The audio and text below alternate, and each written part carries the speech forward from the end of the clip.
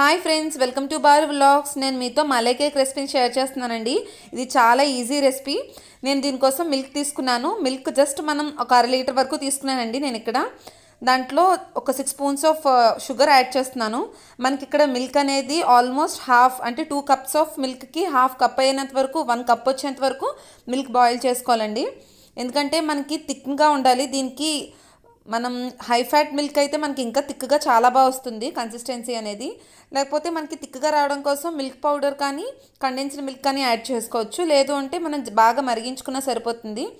Next ఇక్కడ నేను కుంకుమ పువ్వు యాడ్ చేసుకుంటున్నానండి. సో దట్ మనకి కలర్ అనేది కంప్లీట్గా చేంజ్ అవుతుంది. అంటే ఎల్లోయిష్ కలర్ వస్తుంది. దానివల్ల లుక్ కూడా చాలా బాగుంటుంది. ఇది ఆప్షనల్ అండి. మీ దగ్గర లేకపోతే స్కిప్ చేసేయచ్చు. మిల్క్ అది కొంచెం బాయిల్ అవ్వాలండి. ఇది వేసుకున్న తర్వాత బాయిల్ అయిన తర్వాత చూసారా? కలర్ చేంజ్ అయింది. ఇందులో కొంచెం డ్రై ఫ్రూట్స్ వేసుకున్నాను. క్యాషు పిస్తా బాదం వేసుకున్నాను. ఒక కప్లో ఆల్రెడీ నేను జల్లించి పెట్టుకున్నానండి వీట్ ఫ్లోర్ని. దాన్ని యాడ్ చేసుకున్నాను. వన్ కప్ ఆఫ్ వీట్ ఫ్లోర్కి one cup of sugar add చేసుకుంటున్నాను. ఇక్కడ బేకింగ్ పౌడర్ అండి ఇది. బేకింగ్ పౌడర్ యాడ్ చేసుకున్నాను. One spoon. One spoon of vanilla essence add చేసుకున్నాను. షుగర్ ఆల్రెడీ పౌడర్ చేసి పెట్టుకున్నానండి. వన్ కప్ ఆఫ్ షుగర్ అది యాడ్ చేసుకుంటున్నాను. మనకి ఇక్కడ గోధుమ పిండే కదండి మనం మైదా పిండి అయినా యూస్ చేసుకోవచ్చు. నేనంటే గోధుమ పిండి తీసుకున్నాను. ఇక్కడ త్రీ ఎగ్స్ వరకు వేసుకోవచ్చండి. ఎగ్స్ కూడా ఆప్షనల్లే మీకు కావాలంటే వేసుకోవచ్చు లేదు అంటే పర్వాలేదు. బాగా మిక్స్ చేసుకోవాలండి. మనం ఇక్కడ మిల్క్ యాడ్ చేస్తున్నామండి. మిల్క్ కోసం మనం జస్ట్ రూమ్ టెంపరేచర్లో ఉన్న మిల్క్ యాడ్ చేస్తున్నాను నేను ఇక్కడ. ఆల్రెడీ బాయిల్ చేసిన మిల్క్. వన్ కప్ ఆఫ్ వరకు పడుతుందండి. మనకి ఎందుకంటే మనం మధ్య మధ్యలో కన్సిస్టెన్సీ అనేది ఇలా రావడం కోసం మనం కొంచెం కొంచెంగా యాడ్ చేసుకుంటూ బ్యాటర్ అనేది ప్రిపేర్ చేసుకోవాలి.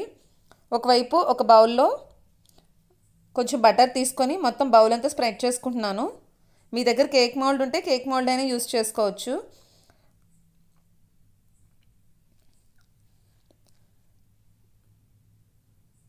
మొత్తం ఇలా స్ప్రెడ్ చేసుకోవాలి.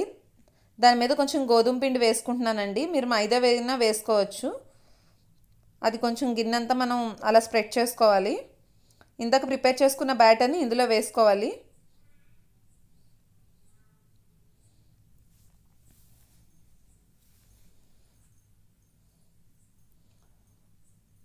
మనం ఒకసారి గిన్నెని ట్యాప్ చేసుకోవాలండి. సో దట్ మనకి ఎయిర్ బబుల్స్ ఏమైనా ఉంటే రిలీజ్ అవుతాయి. పైన నేను ఇందాక కట్ చేసి పెట్టుకున్నాను కదా బాదం పిస్తా అవి కొంచెం వేసుకుంటున్నాను. తర్వాత ఒక బౌల్లో కొంచెం మన సాల్ట్ అయినా ఇసుకైనా ఏదైనా పర్వాలేదండి వేసుకొని ఒక ఏదైనా స్టాండ్ పెట్టుకొని దాని మీద ఇందాక మనం ప్రిపేర్ చేసుకున్నాం కదా ఆ బ్యాటర్ని పెట్టుకోవాలి. పెట్టేసుకొని జస్ట్ మనం ఒకసారి అడ్జస్ట్ చేసుకొని దానిపైన ఒక లిడ్ పెట్టేసుకుంటే సరిపోతుందండి. నేను థర్టీ టు ఫార్టీ మినిట్స్ వరకు నేను దీన్ని కుక్ చేసుకున్నానండి. లో ఫ్లేమ్లో పెట్టుకొని. తర్వాత నేను ఇలా ఏదైనా ఒక చపాతీ కర్రతో నేను ఇలా జస్ట్ ట్యాప్ చేసుకున్నాను. అంతేనండి కేక్ అనేది రెడీ అయిపోయింది. స్పాంజీగా వచ్చిందండి కేక్ చూడండి.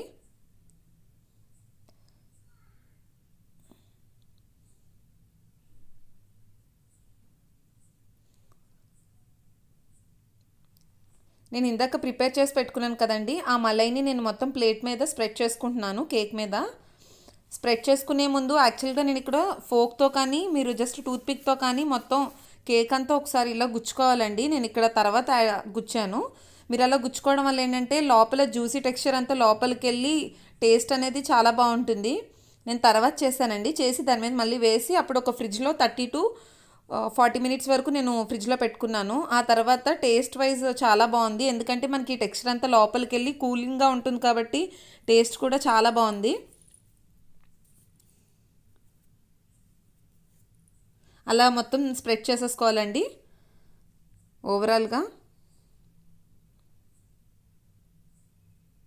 ఫైనల్లీ మనకి మలై కేక్ అనేది రెడీ అయిపోయింది. తప్పకుండా ట్రై చేయండి. మీకు ఈ రెసిపీ నచ్చితే please like share and subscribe to my channel కొత్త వీడియోస్ కోసం నా ఛానల్ని సబ్స్క్రైబ్ చేయడం మాత్రం అస్సలు మర్చిపోకండి.